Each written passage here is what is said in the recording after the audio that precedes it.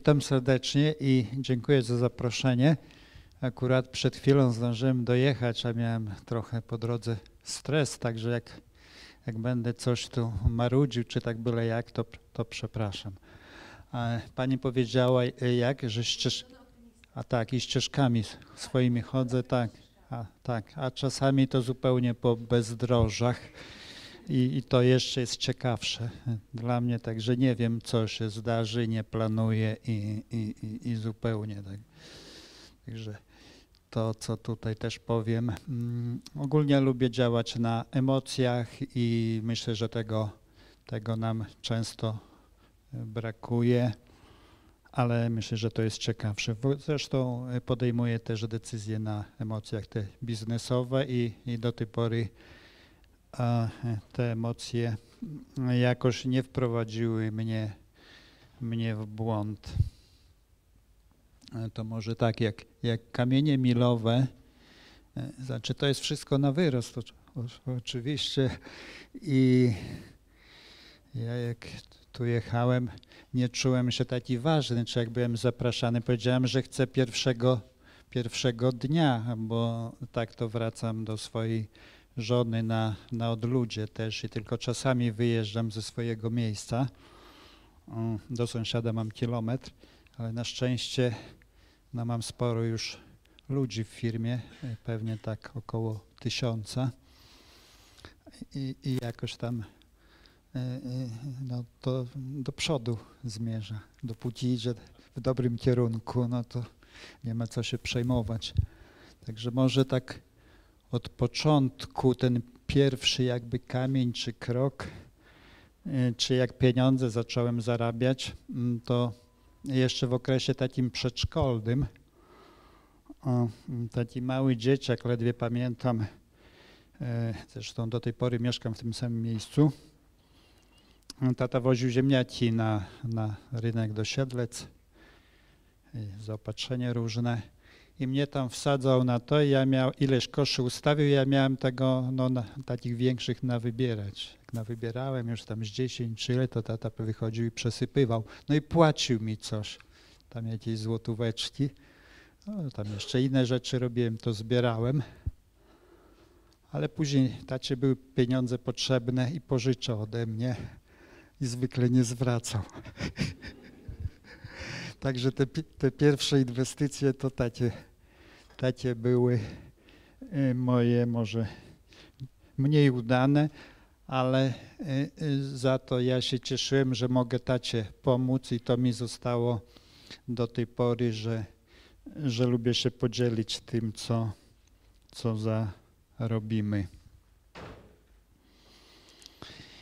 A tak w ogóle samodzielnie zacząłem się utrzymywać już od pierwszej klasy to już następny będzie ten kamień, pierwszej klasy szkoły średniej. Nauczyłem się robić zdjęcia. I mi się to tak podobało, że codziennie robiłem jeden albo dwa filmy, dwie szkoły obsługiwałem. No i kupiłem sobie później lepszy sprzęt i powiedziałem rodzicom, że już nie potrzebuję pieniędzy. Tak mnie to wciągnęło, że w ostatniej klasie to było liceum plastyczne w Lublinie już przestałem chodzić do szkoły.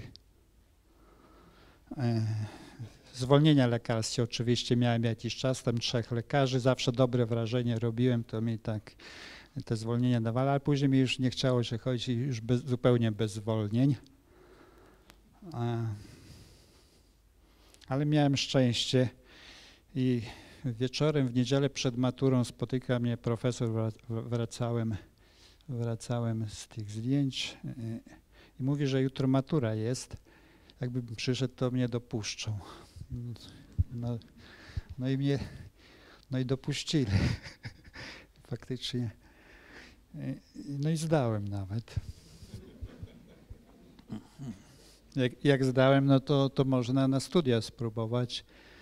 E, I a, a, że tych zdjęć sporo robiłem i na konkursy wysyłałem, no i najtrudniej było się wtedy dostać do szkoły filmowej w Łodzi, no to tam złożyłem, to mówię, jak, jak mnie nie przyjmą, to nie będzie wstydu, jak nie zdam. Tam było 20 chyba 7 na jedno miejsce, no ale też mnie przyjęli za zdjęcia.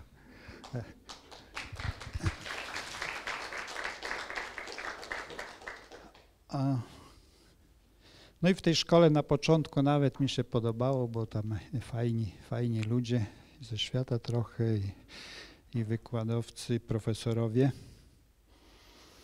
Ale sama jakby mm, robienie filmów to już mi się nie podobało, bo to tych formalności dużo, organizowanie, organizowanie e, zespołu i tak dalej i chciałem być samodzielny bardziej. Także zacząłem swoją tam indywidualną, indywidualny tok i myślałem, jak pieniądze zarabiać. E, I wtedy trafiłem z filmem do Stierniewic, do profesora Pieniążka. I mi się to podobało, nie? On opowiadał o, o tym sadownictwie, to takie fajne. I zacząłem o ogrodnictwie myśleć już, żeby zarobić pieniądze na te swoje filmy. No i, i, oczywiście szkoły nie skończyłem, znaczy prawie skończyłem, dyplomu nie zrobiłem. Zacząłem w to ogrodnictwo się bawić, e, żeby na film zarobić, ale przeszła mi ochota na filmy, wciągnęło mnie to ogrodnictwo e, i zacząłem nieźle, nieźle zarabiać jak na czasy, na czasy y, komuny, bo to nawet nieraz kilkadziesiąt osób pracowało. To już był następny krok, tak, czy kamień. Hmm. Tylko, że przyszedł rok 90. I zmiana, zmiana systemu. Hmm, ja sobie tam na wsi mieszkałem, daleko właśnie, do tej pory tam mieszkam. I wybory samorządowe, mnie zresztą polityka nigdy nie interesowała. Przyjechał ksiądz i mówi, żebym tu startował na radnego księdza pogoniłem, ale ksiądz wziął, zebrał podpisy i, i, i zostałem radnym i wójtem. I wtedy zacząłem no jakby ćwiczyć nie na swoich pieniądzach, czy nie swoją pracą, bo no gmina, gmina trochę pieniędzy miała do wydania. No i nieźle nam szło, bo e, cały czas w Siedlectwie, bo to było Siedlectwie, mieliśmy pierwsze miejsce w inwestycjach 70% na inwestycje, a w Polsce też w pierwszej dziesiątce zawsze. Szóste, siódme miejsce, taka gmina rolnicza. Tak potrafiliśmy wybudować na przykład dwie szkoły w ciągu roku i w dodatku bez pieniędzy. To był rok 91. Chcieli wybudować, ja mówię tak, materiały kupimy, a mają wbudować. No i oni jedni przez drugich budowali, żeby mnie zabrakło, kto, kto był lepszy. A w dodatku jeszcze wtedy nie było pieniędzy i dopiero po wybudowaniu ministerstwo nam dało. Na kredyt dawali, bo to wszystko firmy upadały, także nieraz no, y, y, warto gdzieś tymi, z tymi bezdrożami, czy, czy jakby tak indywidualnie podchodzić. E, oczywiście jak się ma dużo dużo szczęścia. Myślę, że szczęście sprzyja, sprzyja trochę lepszym, albo już no, trochę doświadczenia. To, to, to tak było. Ja oczywiście wtedy też byłem bardzo, e, bardzo wygodny, bo e, tak jak teraz mało w firmie się pojawiam czasami, tak wtedy też dałem wszystkim pracownikom pieczątki z upoważnienia wójta Połowę zresztą od razu zwolniłem. No i niech się podpisują. Mieli za zadanie tego samego dnia załatwiać interesanta. To był tylko tyle mieli. To, żeby nie wypuścić, aż będzie wyjdzie załatwiony. E, I w roku 91 założyłem spółkę razem z rolnikami spółkę Arche. Ja wtedy miałem 2%, to 100 tysięcy nazbieraliśmy wspólnie z rolnikami. 2, 2% to 2 tysiące pożyczyłem w banku spółdzielczym. No i ta spółka zaczęła budować mieszkania. Ambitnie w Warszawie. Pierwsza nasza inwestycja przy Królowej Marysieńki. A na pierwszej nie zarobiliśmy specjalnie, bo ale nauczyliśmy się trochę, miałem ciągłe ciągłe kontrole, jak zaczęła trochę spółka zarabiać, a, a w dodatku nie znaliśmy się tam, czy mało pieniędzy było na, na jakieś załatwianie z urzędnikami, to nam poz, uchylili pozwolenia, no i nie na swoim gruncie, bo myśmy nie mieli czym zapłacić, mieliśmy się dopiero przyszłą powierzchnią rozliczyć. Także to takie, takie przygody z tym, ale to no, potrafię poruszać się w trudnych sytuacjach i to doświadczenie teraz procentuje. E, jakby e, pamiątką z tego, czy, czy efektem e, tej sytuacji, a w dodatku Urząd Skarbowy naliczył mi jeszcze wtedy, to połowie lat 90., 800 tysięcy do zapłaty. Ja szybko zapłaciłem, a po, po dwóch latach zwrócili prawie dwa razy tyle, bo przegrali w NSA i od tamtej pory dali mi spokój. I, I, pamiątką jakby tego był film Układ Zamknięty, gdzie y, no, głównym y, współproducentem byliśmy, milion złotych firma wydała, bo nam się udało z tym urzędem skarbowym e, być lepszym od nich. Układ Zamknięty, który przypuszczam, że część Państwa widziała. Co, co później? E, praktycznie tak działamy e, mocniej gdzieś od 10 lat e, w tych nieruchomościach, bo wcześniej no to, to była, była no nauka, przygody różne. Od 10 lat zaczęliśmy energicznie. Teraz mamy, myślę, że bardzo duży potencjał po tylu latach. Ja wprawdzie już jestem w wieku emerytalnym, ale na razie się nie wybieram, bo mi y, przyjemność daje praca. E, przypuszczam, że w tym czasie nawet nie liczyłem, ale gdzieś ze 7 tysięcy wybudowaliśmy mieszkań. I oczywiście zaczęliśmy zarabiać na, na tych mieszkaniach. Później pojawiły się hotele, trochę z przypadku, bo e, jak mówię, jak gdzieś tam sobie mieszkam na, na odludziu i, i tylko do siebie wracam, nie mam, nie mam pojęcia o, o wielkim świecie, żyję w innych czasach, o właśnie tutaj poczułem klimat ten też, ale, e, ale to tak niektórzy mają. Um, także pierwszy hotel był zupełnie przypadkiem, to w Siedcach kupiliśmy tam um, takie hale duże w dzielnicy przemysłowej, był ma, mały biurowiec, nie wiedziałem co zrobić, wyburzyć, szkoda. E, nikt nie chciał wynająć i taki hotel zrobiliśmy i tam uczyliśmy się. On do tej pory funkcjonuje, nawet niezłe wyniki. I później kolejne poszły, między innymi pałac Pałac w Włochowie, teraz powiększony o folwark, około 250 pokoi. Mm, Zamek Janów Podlaski, a tu podobno e, e, jakiś mały folderek jest w tym, także można będzie spojrzeć sobie później. Zamek Janów, um, osiedle e, Tobacco w Łodzi i, i hotel to jest po po fabryce papierosów. Ogólnie nauczyliśmy się, że, e, e, że te trudniejsze e, zadania dają i, i trudniejsze projekty dają więcej, więcej satysfakcji. I, I, to szczególnie teraz no jakby zaczyna procentować.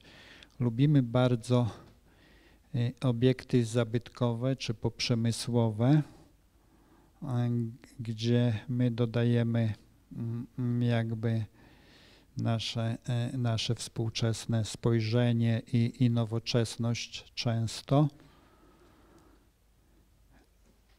I to jest no, dobrze odbierane.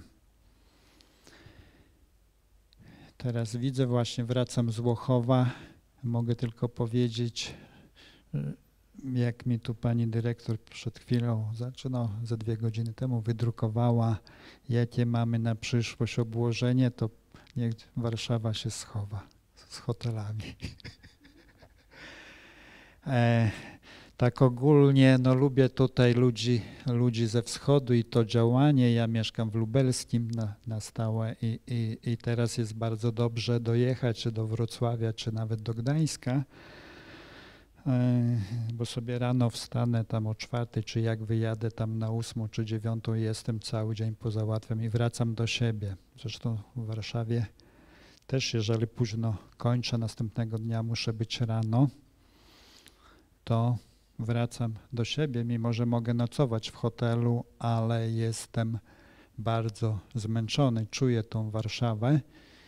E, myślę, że, że nam, a szczególnie mnie, brakuje, znaczy nam, bo ja jestem blisko natury, jest nam to, to potrzebne e, bardzo, bo tak jak żyjemy w takim środowisku wielkomiejskim, to oczywiście przyzwyczajamy się do tego, organizm się trochę potruwa i, i tak normalnie, no jak jakieś uzależnienie czy, czy nauk, czy, czy coś, to nawet nie zauważamy, że coś jest nienormalnego. E, opró oprócz jakby tradycyjnie mieszkań, których tam rocznie sprzedajemy około, przedtem było 600, teraz 800, w tym, w tym roku myślę, że około tysiąca akurat tu pani kierownik z działu sprzedaży jest. I, i te pieniążki no jakby przeznaczamy w części na nasze te obiekty zabytkowe, to od e, dawna, e, czy od no, e, kilku lat, bo pierwsze to był, był taki budynek mieszkalny e, z ulgą taką wielką pod wynajem, taka kiedyś była, że całkowicie podatku się nie płaciło, to w roku 2000 chyba pierwszym się skończyło, to, to nauczyliśmy się, ale, ale takie budynki mamy. W Warszawie na przykład hotel Puławska Residence w Częstochowie. My w przeciwieństwie do, do innych deweloperów nie, nie gwarantujemy stopy zwrotu, bo ja nie wiem, co będzie za 5 lat, a szczególnie 10, jak niektórzy, to jest bardzo ryzykowne. Gwarantujemy na pewno dobre zarządzanie. Trochę się nauczyłem na tym, trochę dyrektorów wymieniłem. E, I u nas ta stopa zwrotu raczej około 10% wychodzi. Także takie nawet więcej, tak? Nawet 12, no właśnie, to mi pani, pani podpowiada. I, I myślę, że e, zawsze jesteśmy w stanie e, mieć powyżej średniej, e, średniej rynkowej, jaka jest w innych, w innych obiektach. Także to jest ta nasza druga noga oprócz mieszkaniówki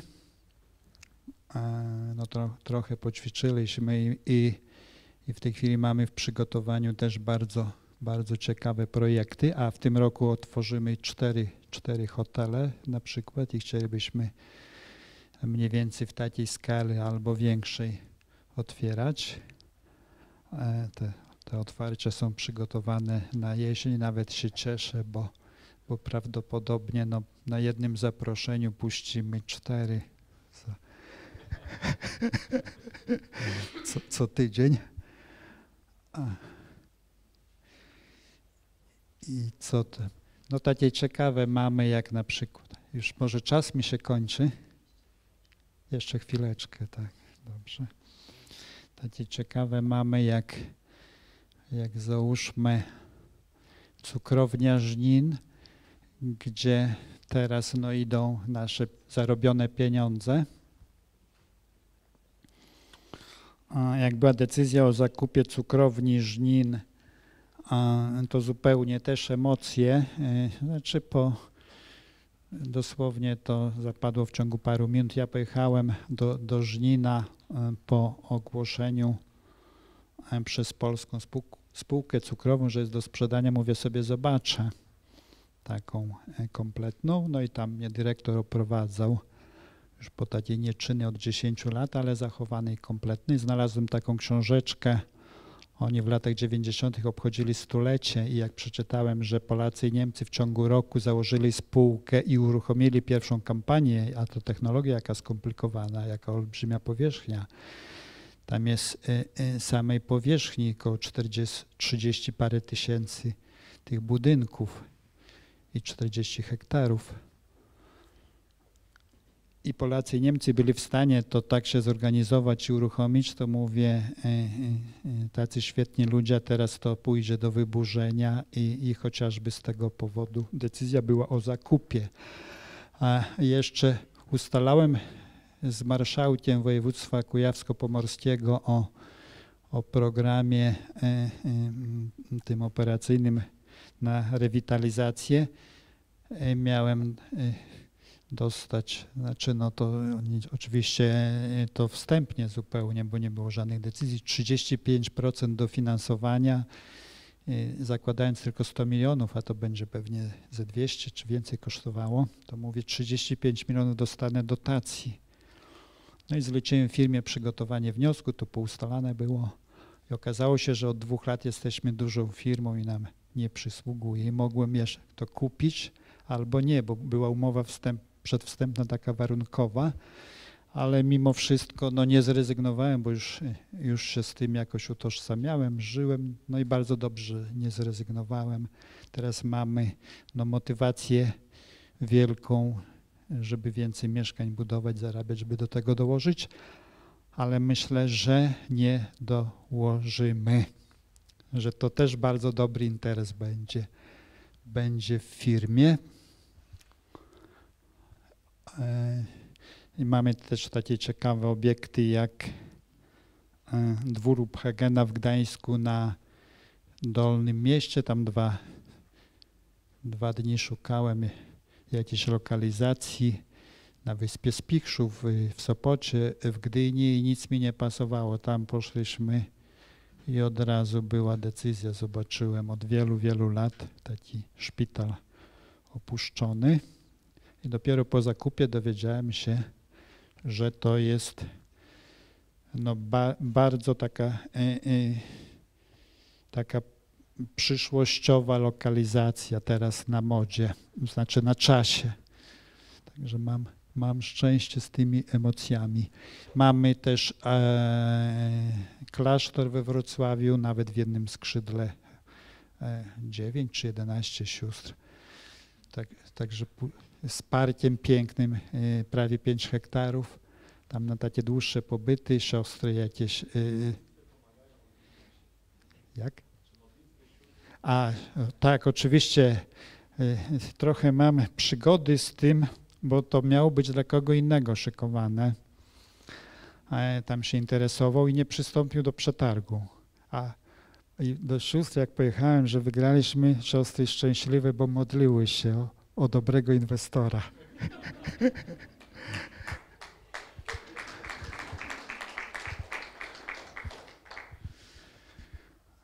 E, mamy takie, takie hasło e, w firmie.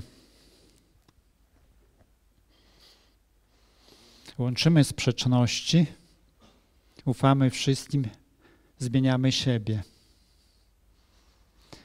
To trochę to może nie na nie na czasie dla niektórych, ale dobrze, dobrze na tym wychodzimy. Też łączymy sprzeczności. Jest to ciekawe bardzo, bo ja bardzo lubię różnych ludzi, a szczególnie e, takich klientów, którzy mi gdzieś do, dokuczają mocno, to później dostają podziękowanie i tak dalej, że, że trochę nauczyli nas pracy solidnej.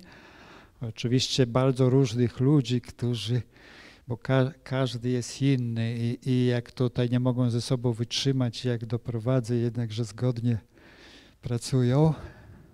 No i, no i w tych obiektach zabytkowych czy, czy innych, gdzie dokładamy tą swoją, a, e, swoją jakby swoje spojrzenie nowoczesne łączymy i okazało się, że to na czasie. Ufamy wszystkim, no bo my mamy ogólnie wszyscy problem, że nie mamy zaufania. I to poczynając no, od, od, od rządu, który nam funduje tyle y, przepisów i to jest i to jest no, mm, nie, nieszczęście dla wszystkich, tak jakby, jakby tylko oszuści, y, nie wiem, w tym, tym kraju żyli, a ja myślę, że 99% jest, ludzi jest porządnych, a, a nawet jeżeli czasem nie, to w pewnych okolicznościach chcą być porządni. I, i ja tak podchodzę i, ufam ludziom i, i, tym mi się odwdzięczają. Nawet tacy, co nieraz em, okazało się, że, że wszystkich innych oszukiwali albo sprawy w sądzie, a mnie nie śmieli. Także tak, to jest bardzo dla mnie też wygodne. Zresztą do interesów tak podchodzę, że, że gdybym przy jakiejś transakcji stracił, to wszystko nawet, to czy mi jeszcze coś zostanie, żebym mógł dalej działać. Na szczęście jakoś tego drugiego przypadku się nie zdarza, chociaż jestem przygotowany. E, ufamy, a, no tak, no to to zaufanie jest tak. To, to nam no bar, bardzo, bardzo w życiu pomaga. Także ja pracownikom y, też oddaję mm, nie, nie lubię jakby takich korporacyjnych e, metod zupełnie. Kto próbuje tu w firmie coś robić, mi więcej jakieś, jakieś procedury, czy, e, czy jak to są rozmowy, albo, albo się, jak nic to nie pomaga, to się rozstajemy. Także e, przypuszczam, że co niektórzy zetknęli się z taką organizacją turkusową, mm, to gdzieś tam u nas troszeczkę tego jest i jakby działamy w zespołach. Ostatni element, zmieniamy siebie, no to, to każdego dnia się zmieniam, tyle mogę, nie chcę nikogo zmieniać, każdy, każdy się może sam sobą zajmować. To już chyba wystarczy. Tak? To dziękuję bardzo. Chyba, że są pytania jakieś. Znaczy, oczywiście za...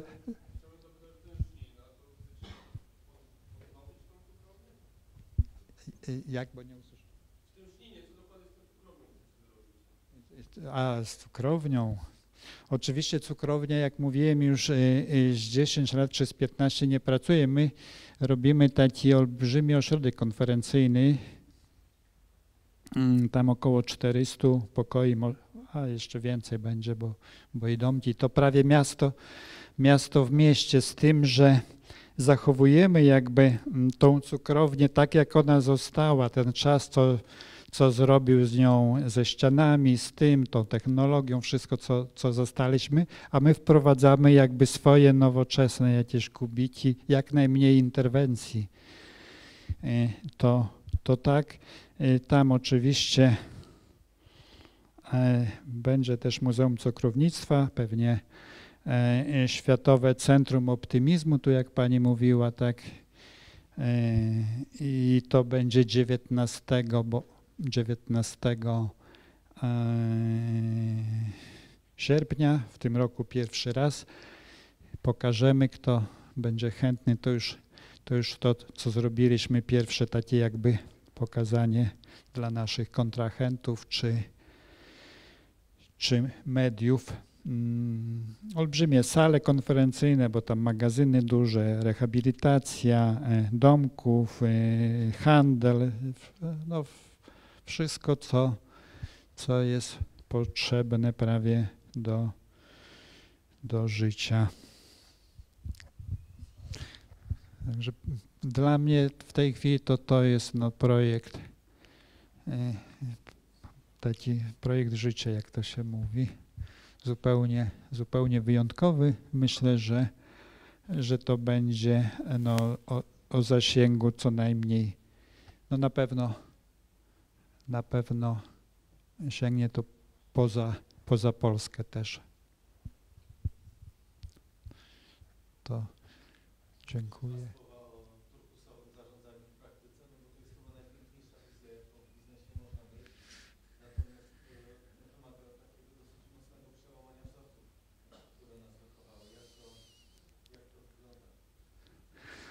A, znaczy, w naszej firmie tak naturalnie, że przypuszczam, że ja taki byłem. Ja niedawno się dowiedziałem, że, że tak można, można zarządzać. E, pozwalam, y, pozwalam swoim pracownikom popełniać błędy. I co dziwne, y, chyba nikogo nie skrzyczałem, nieraz bardzo poważne błędy, raczej pocieszałem, żeby się nie martwił. To, to tak to wygląda u nas. I tu osobiście no, w to się angażuję. I tak sporo ludzi to czuje i dobrze się czuje. A będziemy też jako takie ciekawsze, jeżeli Pana to zainteresowało, akcjonariat pracowniczy w firmie wprowadzali. Co ciekawe, na pewno wszyscy pracownicy będą w tym uczestniczyli, poczynając od tych szeregowych. Ja no bardzo doceniam tych, tych ludzi, bo jak poszukuję dyrektora do hotelu czy tutaj do sprzedaży, to mi się nierzadko zgłaszają setki kandydatów, a jak potrzebuję do, do pracy pokojowej czy na budowę, to nie, nierzadko czy do kuchni nie ma nikogo.